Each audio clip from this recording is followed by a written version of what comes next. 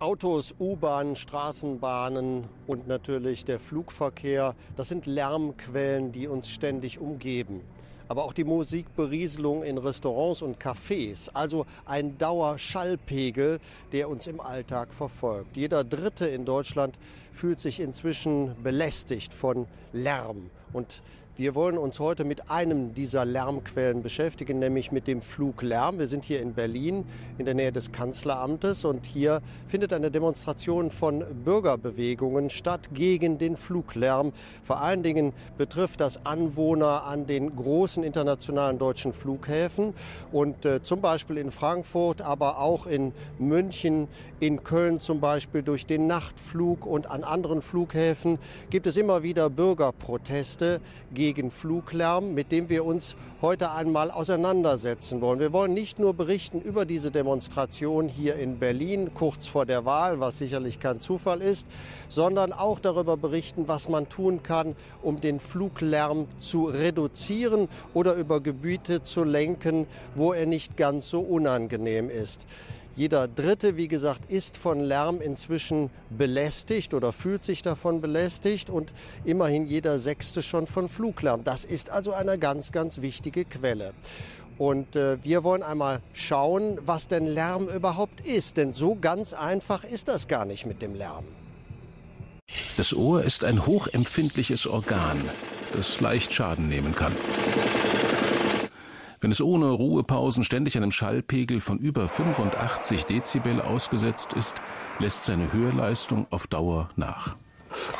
Über der Schmerzgrenze von 130 Dezibel kann sogar ein einmaliges Geräusch das Gehör zerstören. Ohren sind immer auf Empfang, 24 Stunden am Tag, selbst im Schlaf. Denn das Gehör hilft nicht nur bei der Kommunikation, es ist auch ein Warnorgan. Der Hörsinn ist der erste Sinn, mit dem ungeborene Babys im Mutterleib Kontakt zur Außenwelt aufnehmen. Bereits im siebten Schwangerschaftsmonat reagieren sie auf Geräusche und erkennen Stimmen. Geräusche bewegen sich wellenförmig durch den Raum. Im Innenohr gelangen die Schallwellen zum Trommelfell und versetzen es in Schwingung. Diese Vibration aktiviert die Gehörknöchelchen. In der Ohrschnecke übertragen die Sinneshärchen Signale an den Hörnerv. Vom Hörnerv gelangen die Informationen zum Gehirn. Hier werden die elektrischen Signale entschlüsselt und die unwichtigen Informationen herausgefiltert. Zu Spitzenleistung fähig ist das Gehör von Musikern. Sie können bis zu 7000 Tonhöhen erkennen.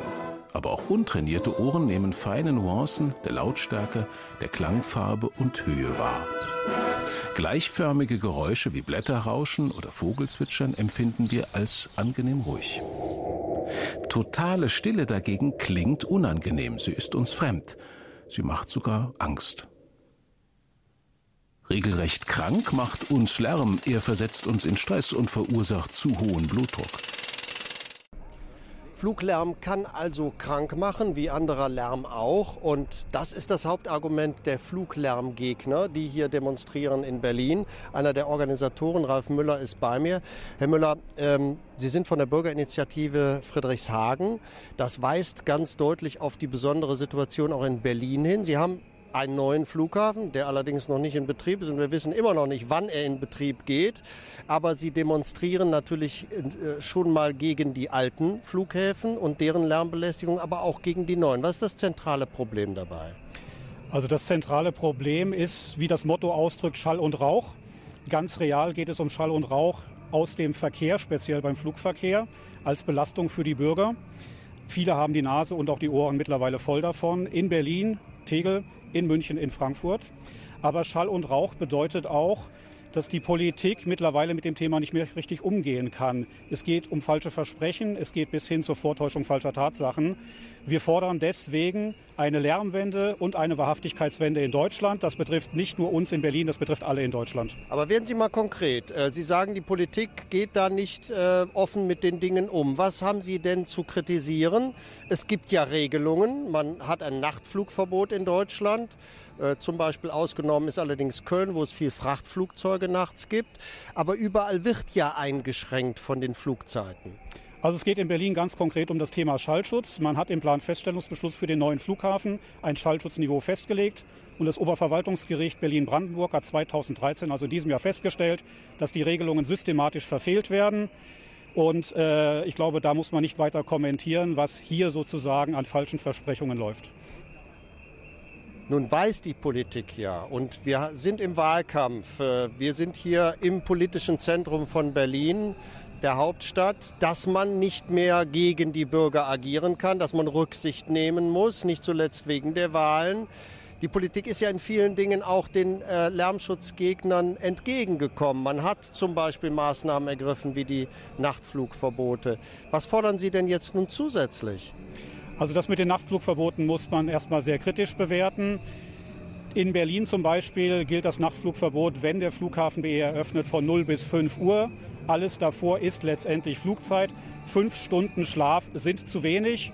Mediziner haben festgestellt, dass dadurch die Krankheitszahlen hochgehen. Es gibt eine Studie dazu. Das ist unabwendbar. Mittlerweile muss die Politik auch sich über Betriebszeiten Gedanken machen oder Flughäfen in Bereiche legen, wo niemand mehr wohnt. Das ist ziemlich schwierig. Man hat es äh, zum Beispiel in München gesehen, als der Flughafen, der sehr stadtnah lag, in Riem, rausgelegt worden ist nach Erding.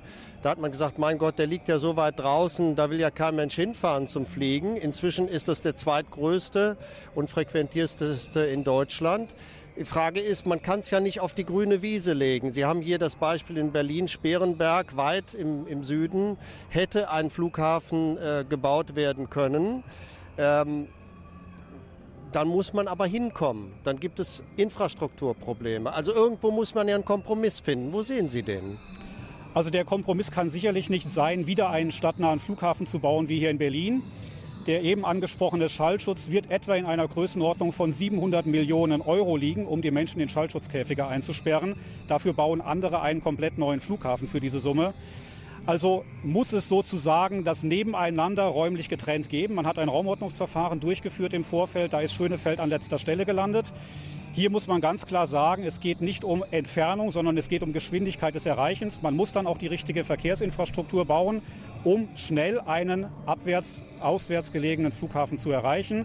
Das ist kein Hexenwerk. Andere Länder machen es vor. Die bauen neue Flughäfen 40, 50 Kilometer außerhalb und können trotzdem schnell diese Flughäfen erreichen. Mit einer Bimmelbahn natürlich nicht. Jetzt, wenn wir in Deutschland äh, schauen, besondere Belastungen gibt es im Rhein-Main-Gebiet äh, durch den größten deutschen Flughafen in Frankfurt. Da gibt es jetzt auch eine neue Bahn, die sehr umstritten war und auch weiterhin ist, weil ganz neue Zonen von Fluglärm inzwischen betroffen sind. Ja, das ist ein Kernproblem in Deutschland. Flugrouten können sich jederzeit ändern, heißt es. Das heißt, niemand kann sich mehr sicher sein, nicht von Flugrouten betroffen zu sein. Knapp oberhalb von 600 Metern dürfen die Flugzeuge überall in Deutschland geführt werden. Es bringt praktisch überhaupt keine Schutzgebiete, was das anbelangt. Ähm, und das Problem ist eben, es müssen andere Regeln gefunden werden. Es muss verlässliche Regeln geben, wo Flugzeuge zu erwarten sind und wo nicht. Ich sage mal ein konkretes Beispiel aus unserem Umfeld. Leute haben sich informiert über den neuen Flughafen BER. Dort hat man gesagt, welche Gebiete betroffen sein werden und welche nicht. Die Leute sind weggezogen aus den betroffenen Gebieten. Und dann hat man kurz vor Eröffnung jetzt gesagt, nee, April, April, die Flugrouten gehen woanders her. Und dieselben Leute sind wieder unter den Einflugschneisen, jetzt in einem ganz anderen Gebiet. Das kann in Deutschland nicht sein. Da muss Politik, da muss Planung verlässlicher sein. Danke, Herr Müller. Zunächst einmal und tatsächlich wollen wir uns ein konkretes Beispiel hier in Berlin, in Schönefeld, mal anschauen. Denn tatsächlich gibt es da ganz heftige Diskussionen um die Verlegung von Flugrouten. Die Wut ist groß rings um Schönefeld. Die Siedlung liegt zwischen zwei Start- und Landebahnen. Also wir haben von jeder Seite. Der Fluglärm nervt die Anwohner. Wie fühlen Sie sich da nicht vom Flughafen? Na, wie der letzte Dreck. Schon 40 Dezibel machen krank. Hier messen sie 76. Solche Werte noch höher sind auch schon vorher gekommen. Und jetzt kommt der neue Flughafen. Jetzt wird er noch schlimmer, ja. Ob man denn hier noch leben kann, also ich glaube nicht. Schönefeld an der Grenze von Berlin und Brandenburg. Größer soll der neue Flughafen werden und lauter. 250.000 Starts und Landungen pro Jahr sind geplant, viermal mehr als bisher. Nebenan in Bohnsdorf würde es also noch viel lauter als jetzt schon. Hier treffe ich Michael und Heike Sambale. Sie sind wütend auf die Flughafengesellschaft, denn die gewährt nur dann Schallschutz, wenn die Zimmerdecke mindestens 2,10 Meter hoch ist. Das war sie auch mal, bevor die Sambales renoviert haben. Wir konnten nachweisen, dass wir selber die Decken äh, abgehangen haben, selber so, dass es tiefer ist. Die Decke, hm. ursprünglich waren es 2,50 Meter, aber wie gesagt, es wurde nicht anerkannt, es zählt nur als Garderobenraum. Das Haus der Sambales wurde 1930 gebaut, nach der damals geltenden Bauordnung. Ein Gutachter des Flughafens aber erklärte den Sambales, geschützt würde nur, was der aktuellen Bauordnung entspricht. Das gilt auch für das Gästezimmer unterm Dach. Was ist jetzt das Problem mit diesem Raum? Es ist die Deckenhöhe statt 2,10 Meter, wie es vorgeschrieben wird. Es ist nur 2,07 Meter hoch. Und zum anderen ist angeblich kein Fenster drin, also eine unzureichende Belichtung. Dabei ist dieses Fenster wohl wirklich nicht zu übersehen. Doch es ist eben kleiner, als die Bauordnung vorschreibt und somit von Amts wegen nicht vorhanden. Also auch hier kein Lärmschutz. Was haben Sie denn für einen Eindruck vom Flughafen? Haben die wirklich Interesse daran, Nein. Sie vor Lärm zu schützen? Nein, eindeutig nicht. Also wir gehen inzwischen davon aus, dass die warten, dass wir sterben, damit sie Geld sparen. So hart wie das klingt, aber es ist tatsächlich. In Blankenfelde, am anderen Ende der Startbahnen, wohnt Gudrun Klaus. Auch bei ihr war der Flughafengutachter und bot an, ein einziges Fenster dämmern zu lassen. Sie haben ein Wohnzimmer mit eins zwei, Fenstern. drei Fenstern, aber nur ja? eins wird gedämmt. Ja. Die dicken Scheiben sollen den Fluglärm schlucken. Doch der Flughafen wollte bislang nur für eine, die rechte Seite zahlen. Eigentlich liegen wir ja mit dem Haus zwischen zwei Start- und Landebahnen. Also Sie haben links eine Startbahn, rechts eine Startbahn. Ja. Und kriegen aber nur die eine Seite gedämmt. Ja. Wir wissen nicht warum. Ein Fehler sei das, meint Gudrun Klaus und forderte ein neues Angebot. Doch die Flughafenbetreiber lassen sie warten seit Monaten. Das heißt für uns natürlich die Hängepartie. Seitdem wir Schallschutz beantragt haben, können wir was machen, können wir nichts machen, machen wir es, gehen wir in Vorleistung, kriegen wir das Geld überhaupt wieder nachher oder ein Teil wieder vom Flughafen. Das wissen wir alles nicht. Sorgen auch in Bohnsdorf. Heute gab der Flughafen zwar etwas nach, es soll besseren Lärmschutz geben. Doch so gut wie vom Gericht gefordert, will der Flughafen die Anwohner dann doch nicht schützen. Da gibt es ein Urteil und äh, scheiß drauf. Da wird so lange rumgedreht über einen Rechtsanwalt, die ja noch Geld verdienen, um das wieder zunichte zu machen. Und da frage ich mich, wo wir hier leben. Bananenrepublik oder wie was, ich weiß nicht.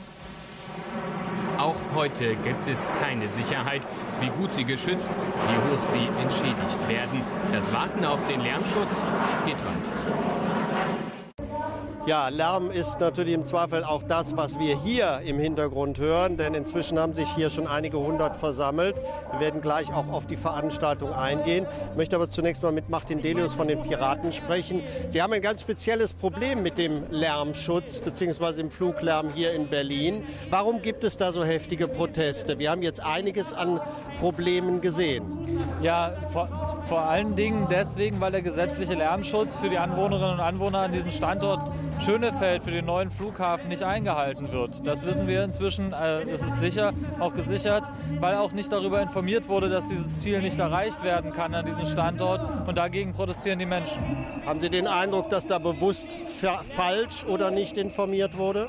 Es wurde zumindest nicht alles gesagt, was man hätte sagen können. Also bewusst weggelassen äh, muss man dann attestieren.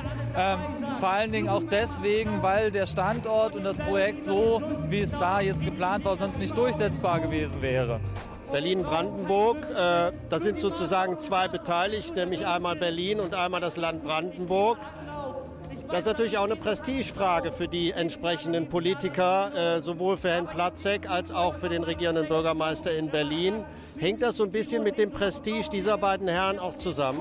Ja, auf jeden Fall. Also gerade äh, der regierende Bürgermeister Wobereit hat das Projekt ja zu seinem Projekt, zu seinem Kind gemacht.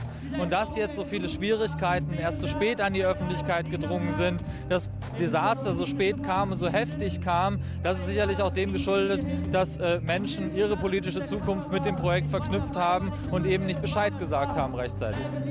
Ist das der Grund, warum man auch jetzt so schlecht zurückweichen kann und Kompromissvorschläge finden kann? Ja, das droht natürlich maximaler Gesichtsverlust, gerade für die Entscheider, die auch schon in der Frühphase dabei waren, mitentschieden haben, gesagt haben, wo der Flughafen hin soll, gegen alle rechtlichen äh, Empfehlungen und auch sachlichen Empfehlungen. Die müssten jetzt zurückrudern, äh, zurückrudern und zugeben, dass sie einen Fehler gemacht haben. Das fällt manchen Politikern eben sehr schwer. Delius, nun überschauen Sie das nicht nur in der Berliner Situation, sondern auch bundesweit. Ist das übertragbar? Ähm, das Problem Flughafen, was wir hier haben, das Problem mit ähm, zu wenig Bürgerbeteiligung, zu wenig Transparenz über den Baufortschritt, die politischen Entscheider, die mit reinregieren in die sachlichen äh, Entscheidungen, die der Flug, äh, an der Baustelle getroffen werden, das haben wir bei ganz vielen Großprojekten. Das haben wir zum Beispiel in der Elbphilharmonie in äh, Hamburg ganz stark. Das ist nur ein Beispiel. Vielen Dank, Herr Delius. Und äh, Natürlich ist Fluglärm vor allen Dingen für Familien, für Kinder ein großes Problem im Rhein-Main-Gebiet. Wir haben es eben schon mal angesprochen. Da gibt es eine neue Start- und Landebahn in Frankfurt. Und dadurch werden nun plötzlich Menschen von Fluglärm betroffen, die vorher von ihm geschützt waren. Ein Beispiel wollen wir Ihnen zeigen. Fluglärm von morgens um fünf bis nachts um elf. Im Minutentakt direkt über den Köpfen. Die vier Kinder von Familie Kistenpfennig sind unausgeschlafen, gereizt, genervt. Das ist das Doofe, dass der auch dann so, dass die Flieger dann immer so laut sind und ganz nah über das Dach fliegen. Und manchmal denke ich auch, die rammen das Dach. Fluglärm nervt nicht nur, er kann sogar gefährlich werden. Besonders für Kinder, das belegen Studien. Die Stressbelastung, die für Kinder entsteht durch Lärm, hat unterschiedliche Effekte. Zum einen, das Verhalten der Kinder wird nachteilig beeinflusst. Sie werden streitbereiter, unruhiger, unfreundlicher zu ihren Spielkameraden. Und auf der anderen Seite wissen wir aus der Ranch-Studie und anschließenden Studien, dass diese Stressbelastung auch dazu führt, dass Stresshormone wie Adrenalin oder Cortison verstärkt ausgeschüttet werden, was wiederum auch erklärt, warum man bei diesen Kindern erhöhte Blutdruckparameter messen kann. Mediziner, Patientenorganisationen und Umweltverbände warnen. Mehr geht nicht. Fluglärm macht krank. Sie setzen sich ein für ein striktes Nachtflugverbot, fordern mehr Schutz für Kinder. Und Ruhe rund um Krankenhäuser. Die Kinderklinik Mainz liegt in der Einflugschneise des Frankfurter Flughafens. Durch den ständigen Fluglärm leiden manche der kleinen Patienten an Schlafmangel und Unruhe und dabei sollen sie jedoch gesund werden. Okay, und wieder ganz normal atmen. Und das bedeutet, dass sie auch einen erhöhten Bedarf an Erholungsphase und Ruhe haben. Insofern ist für uns hier im Krankenhaus, vor allen Dingen für die Patienten, äh, jede Maßnahme, die dazu führt, dass Ruhe erhalten wird, wie zum Beispiel ein Nachtflugverbot, eine ganz, ganz wichtige Unterstützung unserer Arbeit und die Gesundheit der Patienten. Schallpegel von 72 Dezibel im Garten bei Kistenpfennigs. Kaum auszuhalten, aber an der Tagesordnung. Jeden Tag fragen sich die Eltern, ob sie das ihren Kindern noch zumuten dürfen. Fliegt jetzt ja gerade drüber, hörst du? Ja. Und der fliegt jetzt genau über das Krankenhaus hier vorne und dann bei uns übers Dach. Warum? Weiß ich auch nicht. Keine Pause für Ohren und Nerven. Manchmal hilft nur eins. Raus aus der Lärmhölle, rein ins Haus. Hier ist es wenigstens etwas leiser. Emma, Anne, Max und Evi sollen einen normalen Start ins Leben haben. Sie machen Sport und Musik, wachsen zweisprachig auf. Doch wegen des Lärms machen ihre Eltern sich Sorgen um die Zukunft. Die Gesundheit der Kinder ist einfach gefährdet. Langfristig wie auch jetzt sofort. Also sie können sich weder in der Schule richtig konzentrieren aufgrund des Lärms. Aber auch die, die Schadstoffbelastung, die ist, die ist dramatisch. Auch die Mutter selbst spürt den ständigen Schlafmangel. Oft ist sie einfach nur verzweifelt. Mama, meinst du? Das kann man eigentlich einem Kind nicht antun, auch nicht uns, aber ein Kind noch weniger. Die haben ihr ganzes Leben noch vor sich. Vor eineinhalb Jahren wurde am Frankfurter Flughafen die Landebahn Nordwest eröffnet. Das Haus von Familie Remsberger liegt nur vier Kilometer entfernt. Die 13-jährige Lea geht hier zur Schule. Lernen im Lärm. Wenn man zum Beispiel im Kopf rechnen muss und dann die ähm, Lösung hat und dann kommt ein Flugzeug und dann unterbricht man das Schreiben irgendwie automatisch. Bei mir ist es so. Und dann ähm, hat man die Lösung vergessen, wenn es dann wieder weg ist und muss nochmal ausrechnen, dann verschwendet man ziemlich viel Zeit mit den Hausaufgaben. So geht es nicht nur Lea. Kinder, die von Fluglärm betroffen sind, haben es schwerer in der Schule. Das ist bewiesen. Untersuchungen mit äh, Kindern, vor allen Dingen in der Altersgruppe zwischen 8 und 12 Jahren aus den vergangenen äh, zehn Jahren, zeigen, dass Fluglärm auch nachhaltig Einfluss hat auf die äh, Entwicklung von kognitiven Fähigkeiten, also Frage Lernverhalten, Lesefähigkeit oder aber auch Umgang in Gemeinschaften. Davor wollen Sonja und Patrick Kistenpfennig ihre Kinder so gut es geht schützen. Also wir können ja nur sogenannte Passivschutzmaßnahmen ergreifen, sprich wir tauschen jetzt einen Großteil der Fenster aus, auf eigene Kosten natürlich, dass sie einfach einschlafen können in Ruhe und morgens nicht gleich um halb sechs wieder durch die Gegend springen. Der letzte Ausweg heißt wegziehen. Eigentlich will das hier keiner. Emma, die Älteste, war deshalb schon mit auf einer Fluglärmdemo. Sie hofft, dass es irgendwann wieder besser wird. Also ich würde erstmal den Fluglärm irgendwie also wegmachen, die, Land die neue Landebahn weg.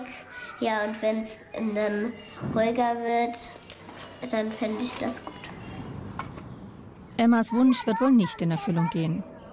Wie unzählige Familien im Rhein-Main-Gebiet müssen alle hier weiter mit dem Krach leben. Wir haben einiges über die Belastung der Anwohner jetzt erfahren. Wir wollen mal einen Arzt fragen, was denn Lärm, was vor allen Dingen Fluglärm ausrichtet bei Menschen. Bei mir ist Professor Hans Beerbohm, er ist Chefarzt der HNO-Abteilung der Parkklinik Wannsee. Sagen Sie uns mal ganz grundsätzlich, was ist Lärm? Ist das gleich Stress oder kommt das jemand darauf an, was es für ein Lärm ist? Denn Musik kann ja auch Lärm sein. Auf jeden Fall. Die Parkklinik befindet sich in Berlin-Weißensee. Das ist ein anderer Stadtbezirk. Lärm, das sind zunächst Schallwellen und diese Schallwellen, die haben eine Amplitude und die haben auch einen gewissen Schalldruck. Und das, was wir physikalisch erleben, das ist viel wichtiger, dass wir auch die Bedeutung, wir nennen das psychoakustisch bewerten, denn jeder Lärm hat auch eine Lautstärke. Und diese Lautstärke, die hängt ab von der Frequenz, auch von der Intensität und der Zeit, mit der sie einwirkt. Unser Ohr ist ein richtiges Meisterwerk. Man muss sich überlegen, dass wir das Ticken einer Armbanduhr hören können und gleichzeitig auch das Starten einer, eines Düsenjets. Deshalb wird die Lautstärke in Dezibel gemessen. Das ist eine logarithmische Einheit. Und das ist wichtig für das Verständnis, denn wenn sich eine Lautstärke um 10 Dezibel erhöht, dann verdoppelt sich das subjektive Empfinden. Wir empfinden den Lärm doppelt so laut, also eine logarithmische Einheit. Und es ist so, dass Lärm, das wissen wir heute aus verschiedenen äh, Studien, natürlich auch eine Bedeutung hat, dass er Menschen krank machen kann. Und deshalb gibt es auch durch den Gesetzgeber verschiedene Reglementarien. Wir haben beispielsweise das Fluglärmgesetz, das ist älter, das ist von 1971. Wir haben eine Novelle des Deutschen Bundestags von 2006. Wir haben auch das Umweltbundesamt, was sich mit dem Thema befasst hat. Und wir haben auch die WHO, die Standards herausgibt. Es ist so, dass wir unterscheiden müssen zwischen einem tagsüber wirkenden Lärm und einem nächtlichen Lärm. Und der nächtliche Fluglärm, der ist von besonderer Bedeutung, weil er das Ohr in besonderer Weise trifft. Es gibt keine Störgeräusche und äh, eine Verkürzung beispielsweise der Nachtruhe, das ist etwas, was gesundheitliche Folgen hat. Jetzt müsste man ja eigentlich danach, was Sie erzählt haben, folgern, wenn wir einen gewissen Nachtflug äh, nicht mehr gestatten, wenn wir den Schlaf nicht mehr stören, dann haben wir eigentlich das Problem des Fluglärms kaum noch. Ist das nicht aber auch sehr subjektiv? Der eine stört sich mehr als der andere? Genau so ist es. Deshalb hat sich auch der 115. Deutsche Ärztetag im vorigen Jahr mit diesem Thema befasst. Und er hat eine vollkommene Novellierung des Fluglärmgesetzes gefordert.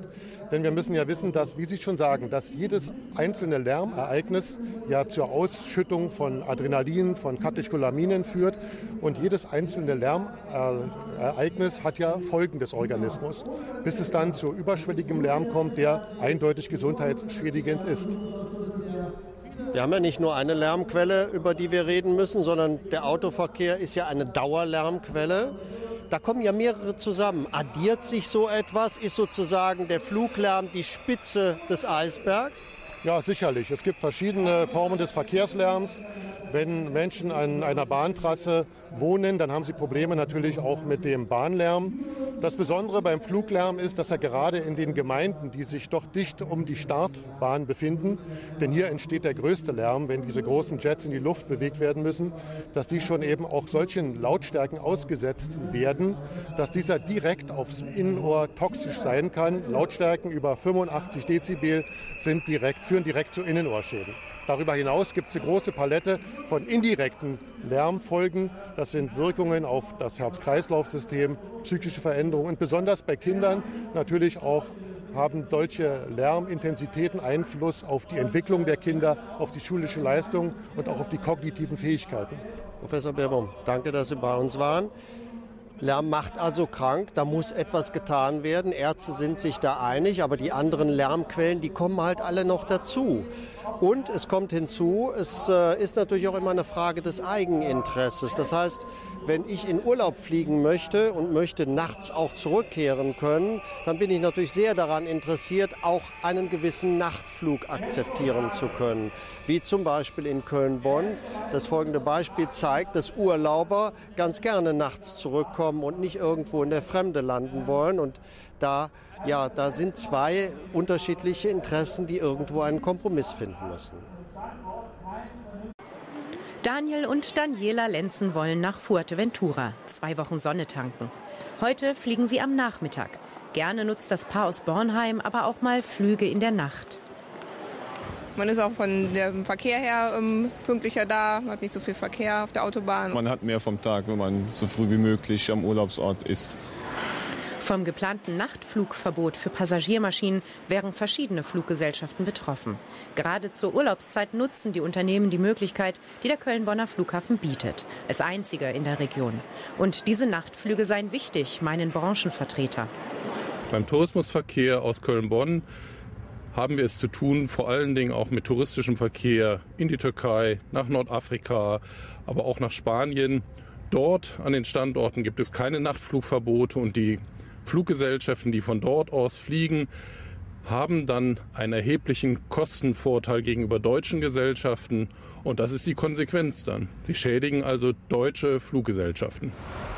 Solche Flüge möchte die rot-grüne Landesregierung in Zukunft verbieten. Etwa 6000 Passagiermaschinen jährlich wären davon betroffen. Im Schnitt sind das 16 Flüge pro Nacht von und ab Köln-Bonn. Das Bundesverkehrsministerium hat sich nun in die Sache eingemischt und bezweifelt die juristische Durchsetzbarkeit. Das sehen Vertreter des Landes aber erstmal locker und wollen nach der Sommerpause mit den verschiedenen Interessensgruppen verhandeln.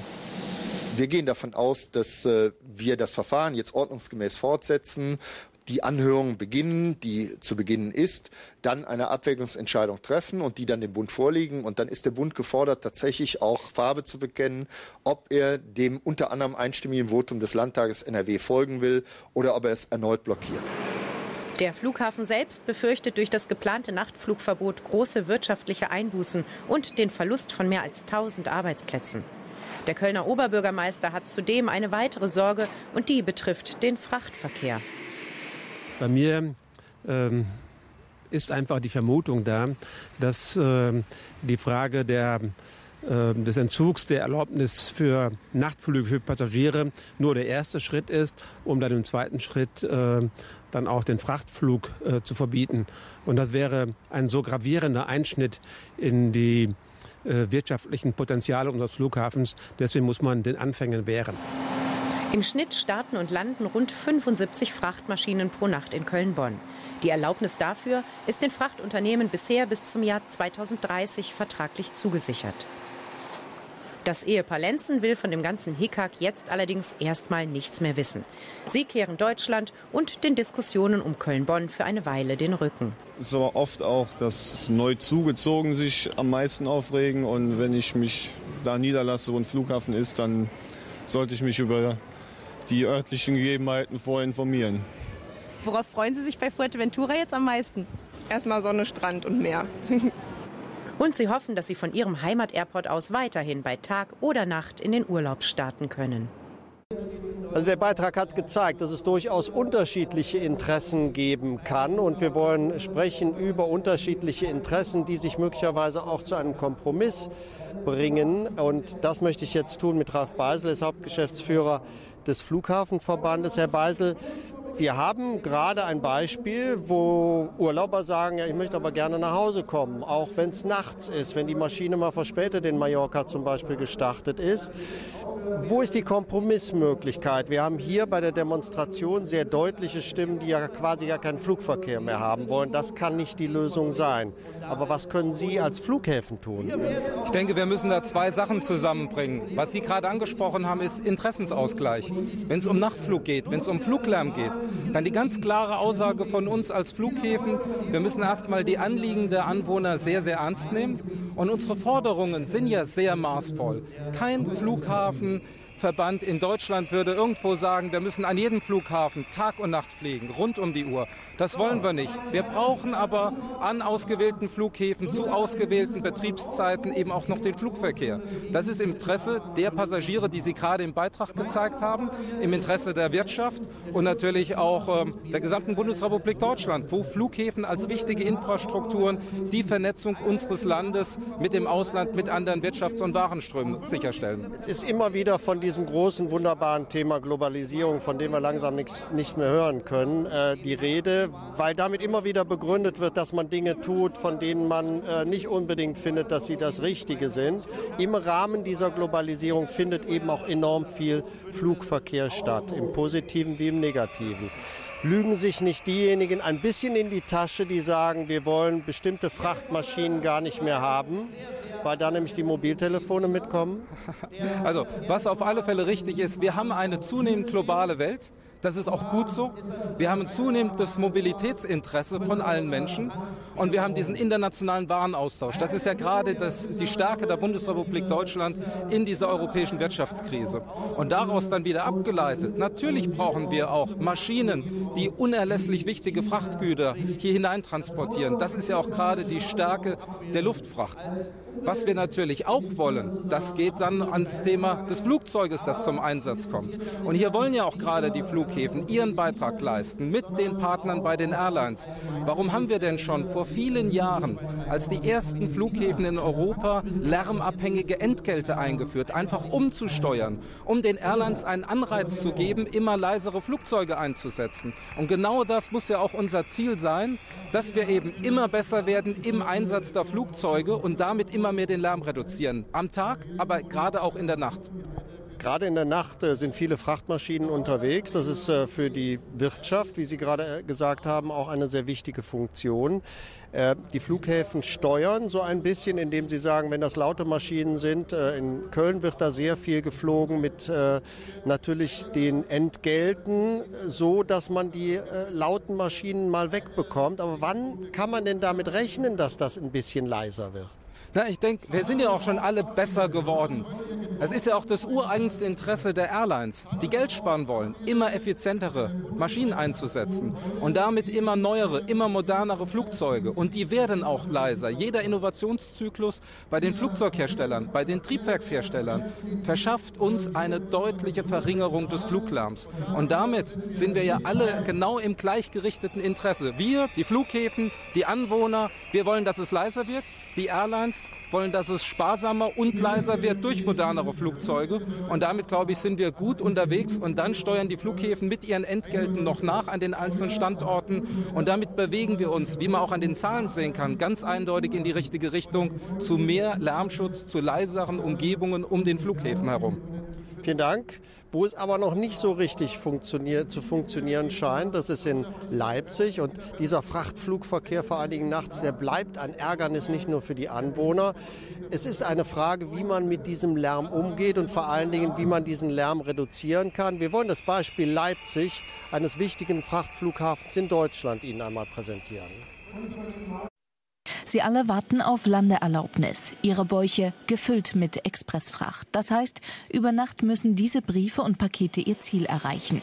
Deshalb herrscht ab 22 Uhr Hochbetrieb auf dem Flughafen Leipzig-Halle.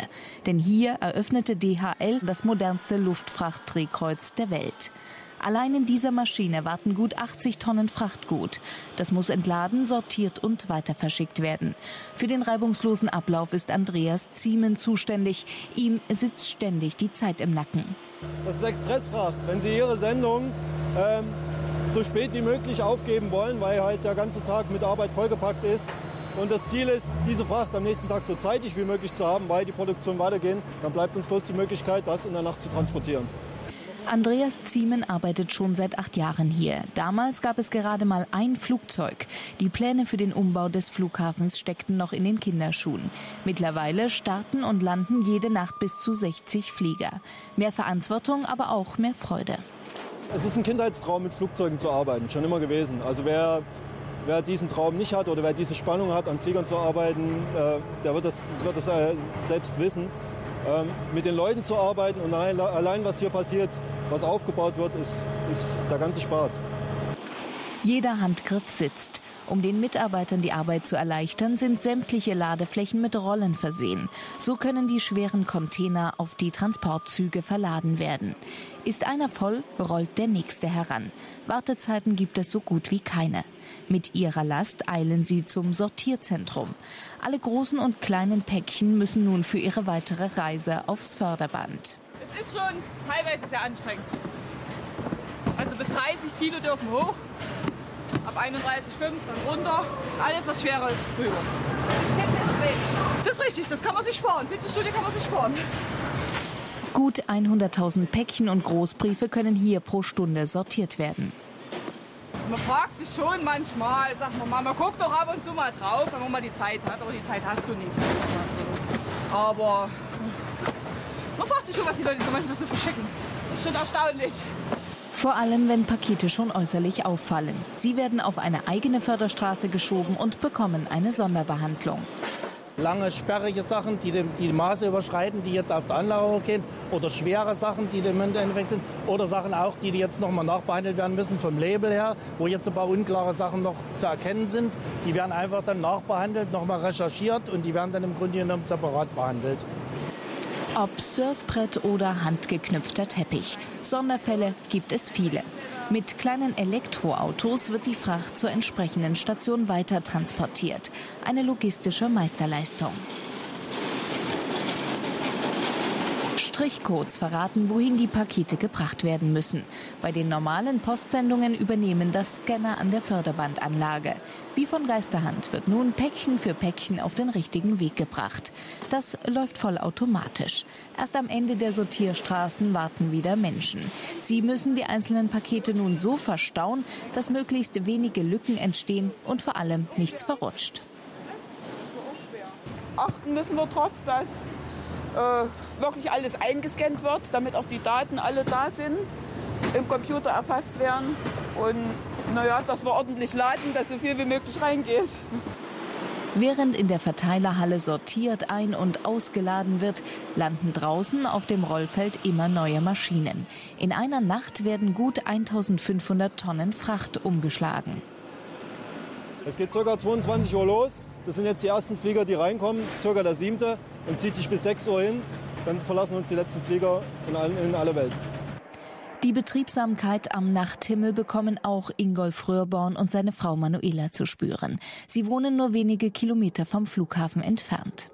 Man schläft vielleicht ein, aber man wird dann irgendwann immer jede Nacht mindestens ein, zwei, dreimal munter und da wartet man dann schon wirklich aufs nächste Flugzeug, ehe man dann wieder einschlafen kann. Aber und es geht nicht nur um Lebensqualität, sondern auch um ihre Existenz.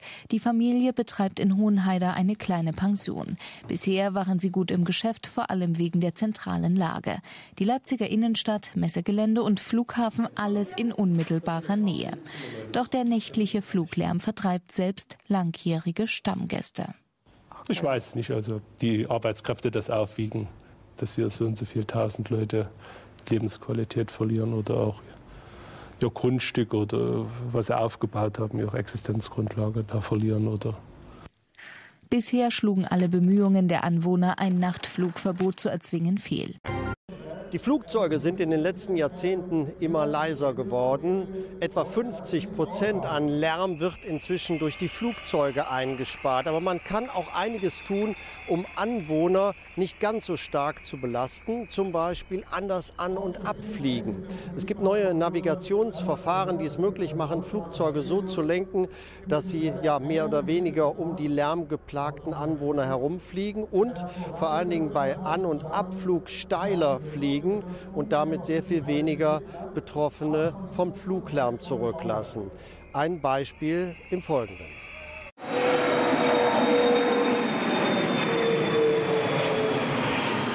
Düsseldorf-Lohausen. Alle paar Minuten kommt einer. Es ist immer schön, wenn es weniger Fluglärm wäre. Es fliegt ja gerade wieder einer. Äh, ja, aber irgendwo, die Leute wollen in Urlaub fahren. irgendwo müssen die Flugzeuge dann ja auch fliegen. Ne? Man muss Gespräche unterbrechen. Das merkt man hier natürlich alle paar Minuten. Das könnte sich irgendwann ein bisschen ändern. Bei Testflügen haben Forscher jetzt neue Anflugrouten untersucht. Das Ziel, beim Landeanflug sollen weniger Anwohner belästigt werden. Die Idee ist ganz einfach. Die Piloten fliegen möglichst um Wohngebiete herum. Voraussetzung dafür ist ein neues Satellitennavigationssystem. Damit können die Piloten bis auf einen Meter genau navigieren und Kurven fliegen, auch noch kurz vorm Landen. Bisher können sie mit dem gebräuchlichen System nur geradeaus auf eine Landebahn zusteuern und das schon 20 Kilometer vor dem Aufsetzen. In Zukunft ist das eben nicht ein Signal, sondern es sind mehrere Signale, die das Flugzeug dann in der Luft navigieren. Äh, und deshalb ist es ein anderer Flug, auch ein Stück mehr vielleicht an der Stelle an Aufmerksamkeit äh, vom Piloten verlangt, weil er eben nicht einfach nur permanent vor sich direkt die Landepiste sieht, sondern er sieht sie erst woanders. Und äh, erst in den letzten Meilen wird er dann auf den endgültigen Anflug wiederkommen. Doch das sei für jeden Piloten beherrschbar. Er müsse sich nur mit dem neuen System vertraut machen. Und so könnte ein Anflug auf Düsseldorf künftig einmal aussehen. Noch geht es schnurgerade über Wohngebiete. Künftig wäre eine ganz individuelle Route machbar. Außerdem sinken die Flugzeuge später und steiler. Auch das schont Anwohner. Die Tests scheinen aussichtsreich. Die Fluggäste sollen den um 0,2 Grad steileren Sinkflug nicht spüren. Ich habe diesen Flug jetzt selber mitgemacht und die derzeitig ähm, angedachte Veränderung des äh, Gleitwinkels, wie das äh, heißt, die merkt kein Passagier. Äh, es ist auch so, dass an verschiedenen Flughäfen jetzt schon durchaus verschiedene Gleitwinkel geflogen werden. Es wird Jahre dauern, bis alle Flugzeuge entsprechend ausgestattet sind. Trotzdem macht das Hoffnung. Also das wäre auf jeden Fall günstig. Ne? Würde mich sehr freuen. Weil es anstrengend ist, wenn es so laut ist, finde ich. Also mich stresst das eher. Es ist ein Steinchen im Kampf gegen den Fluglärm. Aber immerhin, es bewegt sich ein bisschen am Himmel.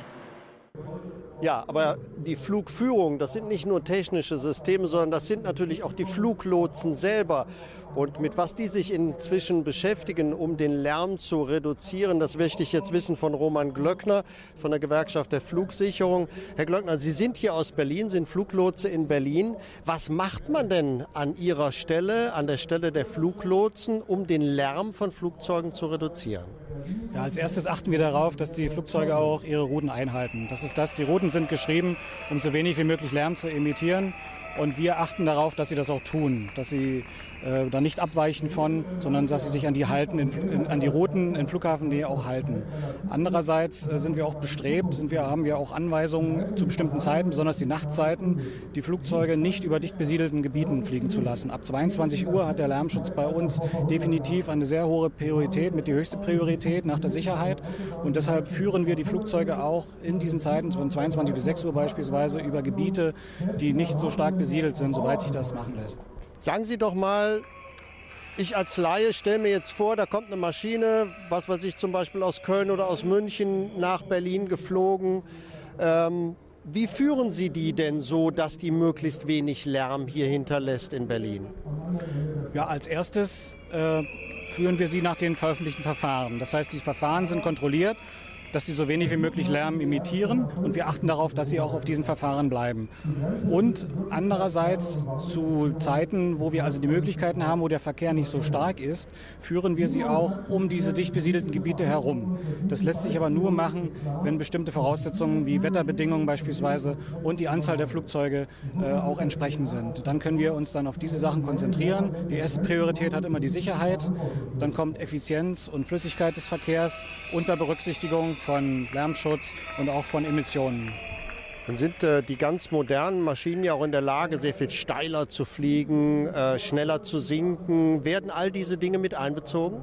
Ja, das sind auch Projekte, die im Rahmen der deutschen Flugsicherung und auch der europäischen Flugsicherung äh, sehr vorangetrieben werden. Das sind steilere Anflug- und Abflugwinkel, dass die Flugzeuge nicht so flach auf den Flughafen zufliegen, sondern in steileren Winkeln oder auch die sogenannten segmentierten Anflugverfahren. Das heißt, dass sie nicht mehr auf einer Linie 20 Kilometer gerade auf den Flughafen zufliegen, sondern zu bestimmten Zeiten, wenn die Voraussetzungen erfüllt sind, auch um Wohngebiete, dicht besiedelte Gebiete herumgeführt werden und dann erst kurz vor dem Flughafen letztendlich auf den Endanflug einschwenken. Das ist, wird auch schon in der Praxis umgesetzt. In Frankfurt kenne ich den Fall, dass wirklich bei äh, etwas weniger Verkehr die Flugzeuge dann schon so geführt werden, dass sie also nicht mehr diesen langen Strich vor den Flughafen abfliegen müssen, sondern dass sie dann erst am Ende, kurz vor dem Flughafen, dann auf diesen Endanflug einschwenken und somit äh, die dicht besiedelten Gebiete unter dem Endanflug letztendlich verschont werden. Wenn Sie jetzt mal zurückdenken an Ihre Praxis als Fluglotse in den letzten Jahren, die Flugzeuge werden immer genauer kontrolliert und wie Sie sagen, eben unter den Prioritäten, dann eben auch wegen des Fluglärms entsprechend geführt. Kommt da noch einiges an Verbesserungen auf uns zu? Ja, sicherlich. Diese äh, Projekte, von denen ich gesprochen habe, werden immer weitergeführt. Die Technik in den Flugzeugen wird immer moderner. Auch die Technik am Boden wird immer moderner. Wir bekommen immer genauer die Positionen der Flugzeuge mitgeteilt, sodass wir da auch genauer eingreifen können. Sodass also auch lärmgeminderte Verfahren genauer kontrolliert und abgeflogen werden können. Es ist so, in Flughafennähe wird man es nie vermeiden können, Fluglärm zu erzeugen. Das ist so. Deutschland ist ein sehr dicht besiedeltes Gebiet. Aber gerade in diesen feinen Stellschrauben kann man noch drehen, dass also genauer geflogen wird und dass also diese veröffentlichten lärmgeminderten Verfahren auch noch genauer eingehalten werden. Herr Glöckner, vielen Dank. Ja, nachdem wir einiges äh, gehört haben zum Problem des Lärmschutzes bzw. des Fluglärms, wollen wir hier auf die Begegnung von Fluglärmgegnern und Bürgerinitiativen eingehen. Wir wollen Ihnen einen kurzen Ausschnitt einmal zeigen von dem, was hier an Reden und an Themen diskutiert worden ist. Nur mit einer anderen Politik nicht mit mehr Geld gibt es eine klima- und menschenfreundliche Alternative. Nach dem Ausbau der Eisenbahnstrecke zwischen Hamburg und Berlin und der zwischen Berlin und Hannover gibt es keinen Flugverkehr mehr zwischen diesen Städten. Ähnlich ist es zwischen Paris und Brüssel, zwischen Paris und London oder zwischen Madrid und Barcelona. Wenn die Zugfahrt nur eine Stunde länger als der Flug dauert, bevorzugen die Menschen die Bahn. Um auf diese Relation, und auf diesen Relationen nach Hannover und nach Hamburg ist die Bahn von Stadtmitte zu Stadtmitte sogar eine Stunde schneller. Man stelle sich vor, nur zehn Jahre lang würden die den Airlines jedes Jahr von uns allen geschenkten 30 Milliarden Euro in die europäischen Bahnen investiert. Wir hätten ein super Eisenbahnnetz, billige Preise und den Flugverkehr halbiert. Das würde bedeuten,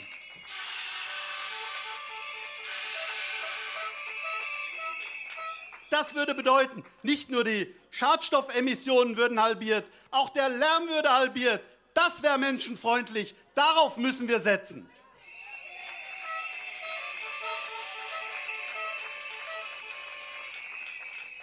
Lärm macht krank. Fluglärm macht besonders krank. Und nur wer gut schläft, kann gut arbeiten. Deshalb fordern wir Grünen in unserem Bundestagswahlprogramm ein Nachtflugverbot von 22 bis 6 Uhr und insgesamt eine andere Verkehrs- und Umweltpolitik. Wir müssen den Klimawandel stoppen, damit unsere Kinder und deren Kinder eine Perspektive haben, auf diesem Planeten zu leben. Wir können und wir wollen das auch. Die Mobilität sichern und den Klimawandel stoppen. Beides ist möglich und dafür wünsche ich uns allen viel Erfolg. Vielen Dank.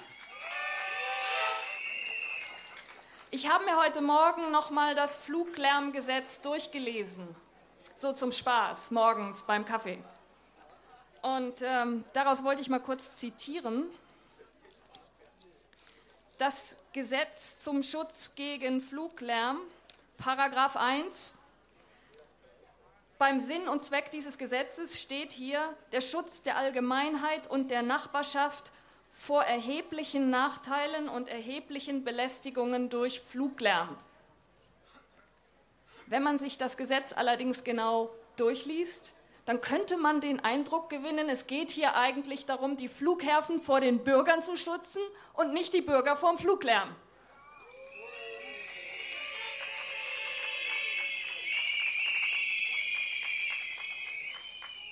Im Gesetz ist zwar die Rede von Nachtschutzzonen, aber man hat es versäumt zu definieren, was die Nacht eigentlich ist.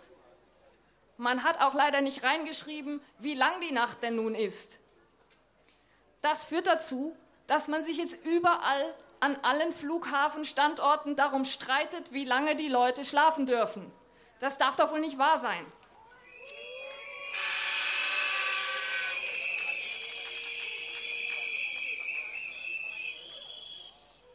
Ein Punkt ist uns aber noch besonders wichtig. Wir wollen nicht, dass die unterschiedlichen Standorte gegeneinander ausgespielt werden. Also es kann nicht nur darum gehen, den Fluglärm in Berlin zu bekämpfen. Ich bin besonders froh, dass überall in Deutschland heute Demos sind. Wir müssen den Fluglärm in Berlin, in München, in Frankfurt und überall sonst bekämpfen.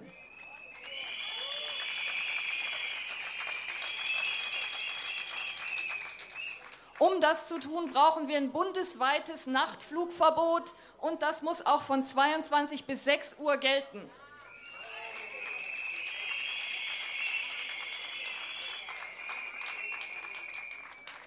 Wir sagen Fluglärm, nein danke. Bundesweites Nachtflugverbot jetzt. Liebe, liebe Freundinnen und Freunde, lasst mich mit einem Zitat beginnen. Ich zitiere. Luftreinhaltung, unter anderem Schutz von Feinstaub, Lärmschutz, gesunde Böden, saubere Gewässer, Gesunde Lebensmittel und intakte Ökosysteme sind Voraussetzungen für Lebensqualität, auf die alle Menschen einen Anspruch haben.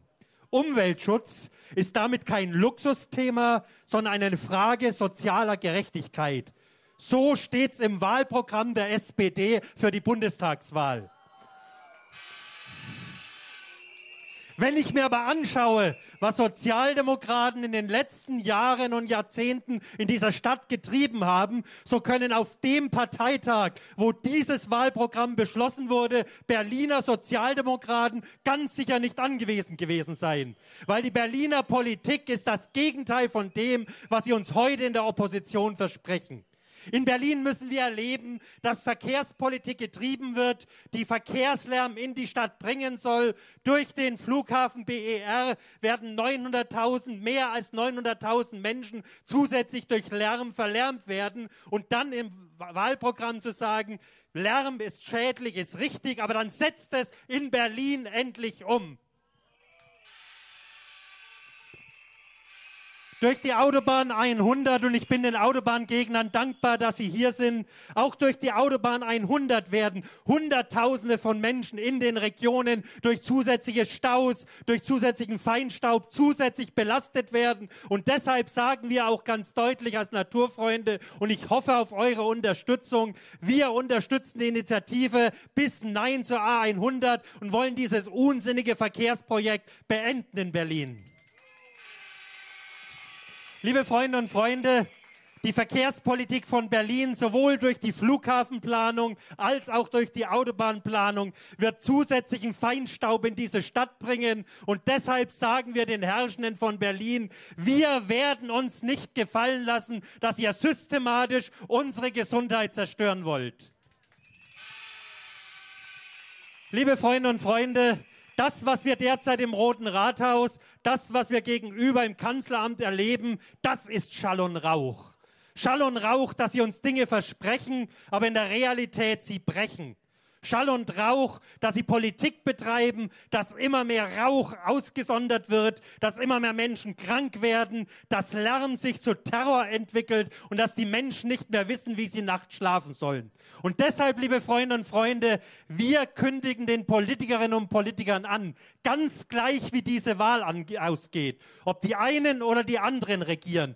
Unser Widerstand geht weiter und wir werden Politikerinnen und Politiker gleich welcher Couleur nicht schlafen lassen, bis sie die unsinnigen Flughafenpläne und die A100 auf den Müll der Geschichte geschmissen haben.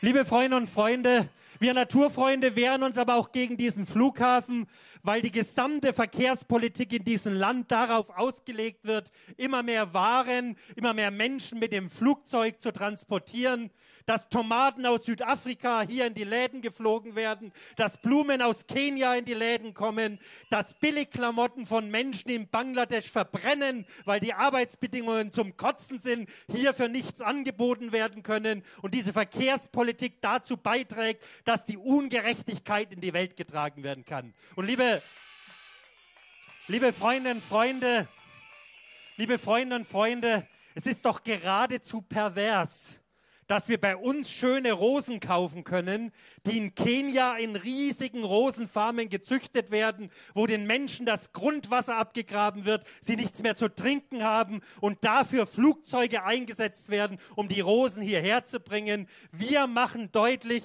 Waren gehören aufs Schiff, Lebensmittel gehören nicht rund um die Welt gefahren und das ständige Zunehmen des Verladens von Waren in Flugzeugen, für die das Nachtflugverbot aufgehoben werden soll, muss beendet werden. Aber, aber liebe Freunde und Freunde, wir haben ja Hoffnung. Wir lesen ja unter anderem, dass der Flughafen langsam im märkischen Sand versenkt wird, dass er untergeht. Und wir hoffen natürlich, dass sich das beschleunigt wenn er dann mal im märkischen Sand verschwunden ist, können wir ihn ja eventuell als Tiefgarage benutzen für ein anständiges Park-and-Ride-System hier in Berlin. Liebe Freunde und Freunde, und einige meiner Vorredner und Vorrednerinnen haben darauf hingewiesen. Wenn wir uns anschauen, wie sieht denn das hier am Flughafen aus mit den Starts und Landungen? Jeden Tag finden mehr als 42 Starts und Landungen von Flugzeugen statt, die nur nach Frankfurt fliegen oder von Frankfurt zurück. Der Sprinter und der Redner von den Grünen hat richtig darauf hingewiesen, braucht für dieselbe Strecke 3,5 Stunden. Unsere gemeinsame Forderung sollte sein, mehr Sprinter einzusetzen und Kurzflüge, die in Deutschland auf so kurzen Strecken stattfinden sollen, zu verbieten. Es finden Liebe Freunde und Freunde, es finden jeden Tag, also Samstag, Sonntag etwas weniger, über 52 Starts und Landungen für Flüge nach München statt. Nach München braucht heute die Bahn, bevor der ICE fertiggestellt ist, etwa sechs Stunden. Rechnet man die Zeit, die ich zum Flughafen brauche, rechne ich den Flug, die eine Stunde, die ich rumstehen muss, damit ich dann ins Flugzeug komme und die Riesenentfernung vom Flughafen München in die Innenstadt, bin ich heute schon mit dem Flugzeug viereinhalb Stunden unterwegs. Wir Naturfreunde verstehen Verkehrspolitik so, dass wir innerdeutsche Flüge, sei es nach München, nach Nürnberg, nach Dresden, nach Frankfurt oder nach Köln verbieten wollen, weil die Anzahl der Start- und Landungen über 42 Prozent aller Starts und Landungen in Berlin sind Kurzflüge. Weg müssen von diesem Flughafen. Es kann doch nicht angehen, dass die Menschen unter Lärmterror leiden, dafür, dass eine Stunde Fahrzeit eingespart wird.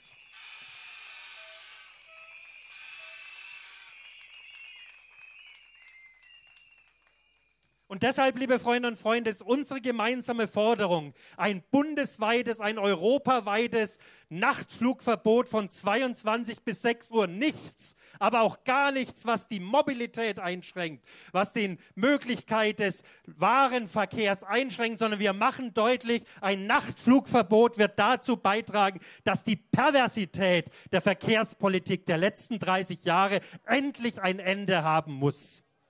Aber liebe Freunde und Freunde,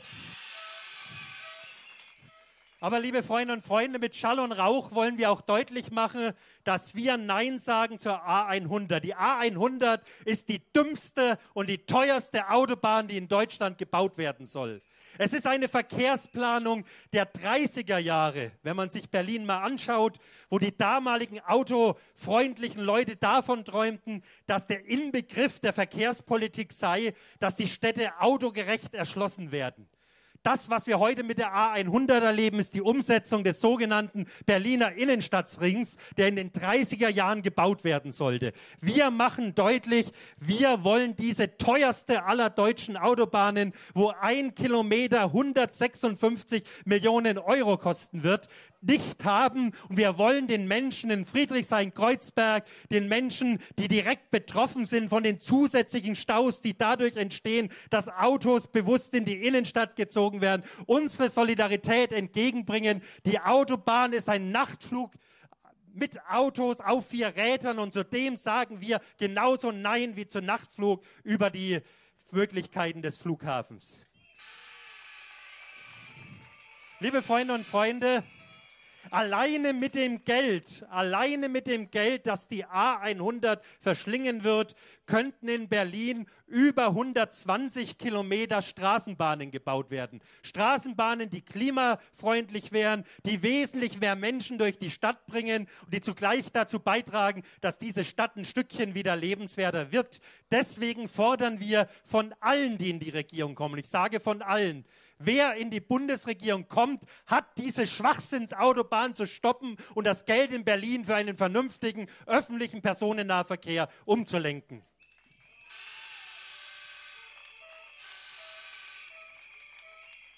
Und lasst mich ein vorletztes anreden, liebe Freunde und Freunde. Dieser Berliner Senat ist sicher nichts zu schade.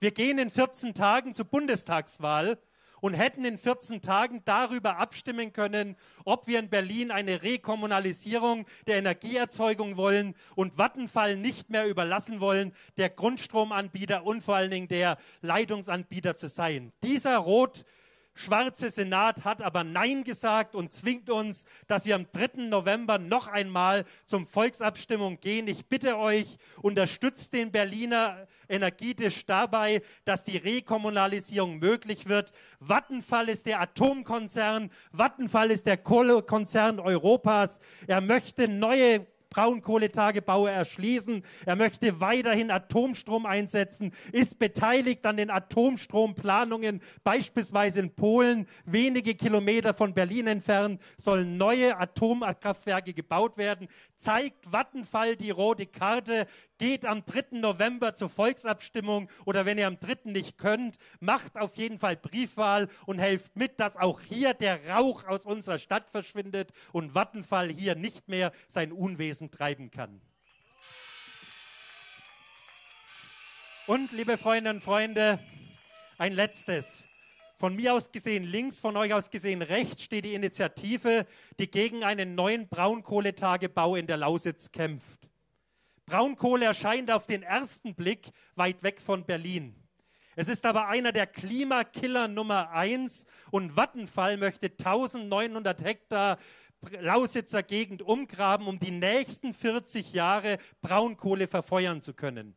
Zurzeit läuft gerade das Einspruchsverfahren gegen den Braunkohletagebau in Wetzow. Ich bitte euch, geht nachher beim Weggehen noch nach rechts von euch aus gesehen, unterstützt, unterstützt uns, weil die Wattenfaller laufen durch die Gegend, lassen alle Bergleute, ihre Familien, ihre Omas und Opas unterschreiben, weil sie zeigen wollen, dass angeblich die Mehrheit weiterhin für Braunkohleverstromung sei. Wir sollten deutlich machen, Schall und Rauch verhindern bedeutet für uns eine andere Form der Energiepolitik, eine andere Form der Verkehrspolitik und vor allen Dingen auch eine andere Form der grundsätzlichen Politik durchzusetzen. Deshalb unterstützt auch diese Initiative.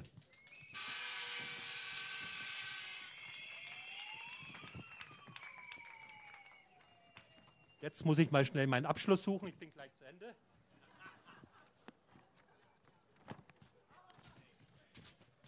Völlig überraschend, der Abschluss war ganz hinten. Liebe Freunde und Freunde, ich bin gefragt worden, was kann ich empfehlen zur Wahl? Ihr wisst selber, was ihr wählt. Dazu sage ich nichts. Ich selber komme seit 30 Jahren übrigens mit dem Verband der Naturfreunde aus der Überzeugung, Wahlen alleine werden die Gesellschaft nicht verändern. In der parlamentarischen Demokratie sind sie wichtig, aber der Widerstand auf der Straße muss die Menschen, die im Parlament sitzen, gleich welcher Couleur, dazu zwingen, vernünftige Politik zu machen.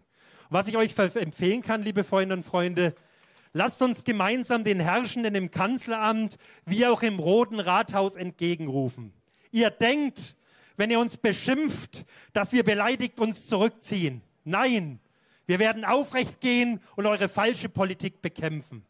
Ihr denkt, wenn ihr, eure, wenn ihr unsere Argumente für falsch und für blöd erklärt und Lügen verbreitet, werden wir schweigen. Nein, wir werden eure Lügen aufdecken und euch inhaltlich widerlegen. Ihr denkt, wenn ihr lange genug falsche Politik macht, werden wir müde. Nein, wir werden heute, wenn es sein muss, später mit unseren Kindern gemeinsam gegen eure falsche Politik kämpfen. Und ihr denkt, wir lassen euch gewähren. Nein. Wer unsere Zukunft gefährdet, den setzen wir uns in Widerstand entgegen. Lasst uns gemeinsam kämpfen, lasst uns gemeinsam zivilen Ungehorsam entwickeln und lasst uns gleich, wer regiert, sie nicht in Ruhe schlafen können, damit diese Gesellschaft endlich anders wird. Dankeschön. Ja, wir wollen keinen Lärmteppich. Das ist äh, das äh, Ziel unisono von allen, die hier von den Bürgerinitiativen gesprochen haben.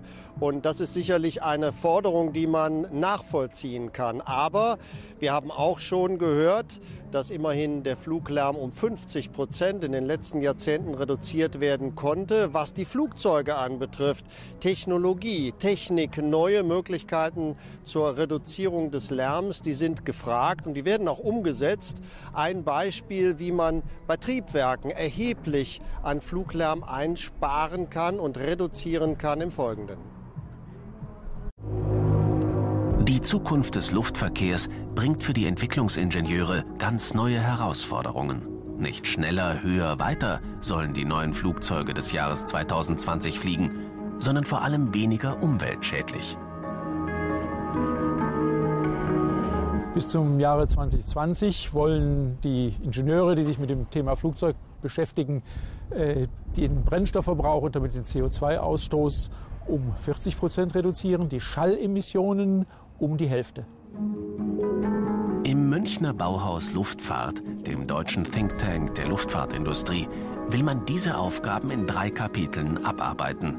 Kapitel 1 Struktur und Gewicht. Gewaltige Potenziale bietet hier eine vollkommen neue Flügelstruktur, von den Entwicklern als Boxwing bezeichnet.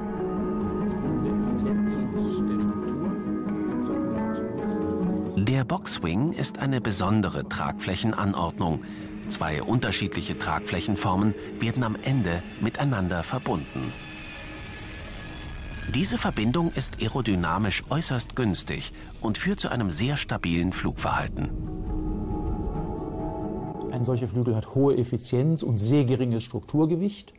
Äh, an diesen Boxwing haben wir gekoppelt im Prinzip einen delfinförmigen Rumpf, äh, jeder weiß, dass Delfine relativ verlustarm schwimmen. So ähnlich tut es dann auch unser Flugzeug.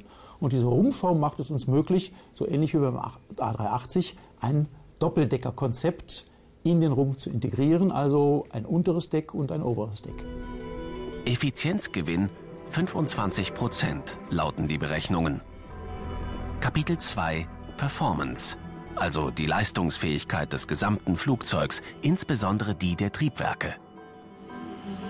Der Sound eines Düsentriebwerks könnte bald weniger auf den Flughäfen erklingen, denn es deutet sich ein Comeback an, das Comeback des Propellers. Düsentriebwerke sind zwar extrem leistungsfähig und erlauben hohe Geschwindigkeiten, sind dafür aber extrem durstig. Der 15% langsamere Propeller ist dagegen fast ein Hungerkünstler. Zumindest der gesamte Verkehr innerhalb Europas bietet sich für den Propeller an. Man kann sagen, dass man durch ein Propellertriebwerk heute noch im Vergleich zu den modernen Triebwerken noch mal wieder 30 bis 40 Prozent Brennstoffeffizienz gewinnen könnte. Das Problem des Propellers der Propeller liegt frei und ist dadurch extrem laut. Allein schon deshalb ist das Düsentriebwerk bei den Passagieren viel beliebter. Technisch lässt sich das Problem heute lösen. Zwar können die Flugzeugentwickler den Propeller vom Grundprinzip her nicht leiser machen, aber er lässt sich in das Gesamtsystem Flugzeug anders einbetten. Selbst eine große Anzahl von Propellern für Großraumflugzeuge wird vom Geräusch her erträglich, wenn man ihn wie ein Düsentriebwerk einfach einpackt. Wir verfolgen insbesondere die Idee des ummantelnden Propellers in der Form, dass wir Rumpfstrukturen oder Leitwerkstrukturen dafür hernehmen, um den Lärm abzuschatten, sodass er nicht an die Bevölkerung unten durchdringen kann. Kapitel 3 Die Verkehrsführung. Fliegen von seinem Ablauf her effizienter machen. Dabei denken die Ingenieure an grundsätzlich andere Ab- und Anflugverfahren.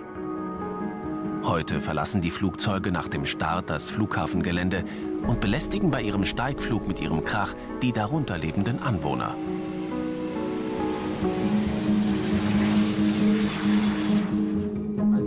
Deshalb wollen die Ingenieure die Startphase verändern.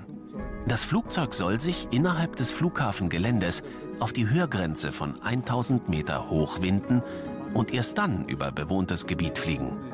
Dafür werden zusätzliche Gebläse in den Flügeln benötigt, welche für stärkeren Auftrieb sorgen sollen. Eine technologisch teure Entwicklung.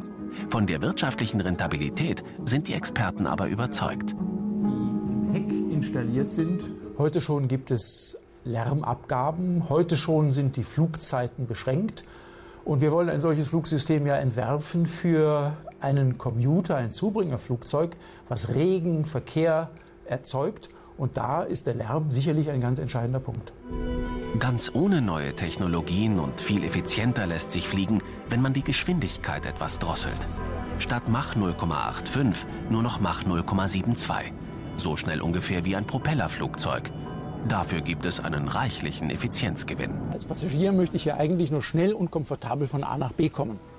Wenn es jetzt gelingt, die Abfertigungszeiten, Wartezeiten, die Check-in-Zeiten am Flughafen zu beschleunigen, dann kann ich mir durchaus leisten, langsamer fliegen, zu fliegen und trotzdem zur gleichen Zeit an meinem Zielort anzukommen. Wenn ich etwa 10 Prozent langsamer fliege, dann habe ich den Effekt, dass ich 25 Prozent weniger Brennstoff verbrauche. Das heißt auch wieder 25 Prozent weniger CO2. Dieser Dimensionssprung in der Effizienz lässt sich sofort erreichen, ohne auch nur eine einzige Schraube an den Triebwerken verändern zu müssen. Die Zukunft des Luftverkehrs kann also sofort beginnen. Nicht schneller, höher, weiter lautet das Ziel, sondern langsamer, leiser, effizienter. Es ist das alte Dilemma zwischen Ökonomie, also der Wirtschaft, und der Ökologie, also der Umwelt, die hier die Bürgerinitiativen umtreibt.